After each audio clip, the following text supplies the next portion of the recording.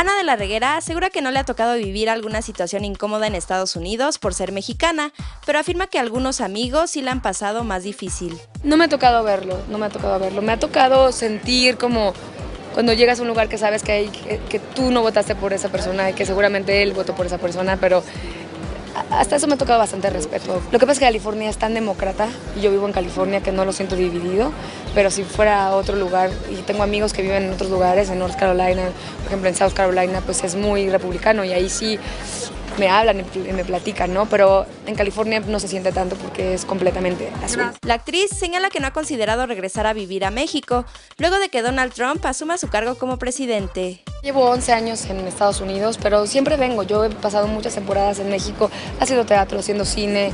Digo, me acabo, o sea, las apariciones este año a principios. O sea, siempre estoy en México trabajando. Nunca he dejado México, así que este, así seguiré. Además, Ana platica que decidió participar en una cinta que aborda una de las problemáticas de los indocumentados en Estados Unidos, sin importarle el bajo sueldo que recibiría por su trabajo. Terminó una película, de hecho, que se llama Collisions, una película muy pequeñita, independiente, que se trata sobre eso, sobre las familias que se paran en Estados Unidos, que deportan a, los padres y dejan a los hijos solos.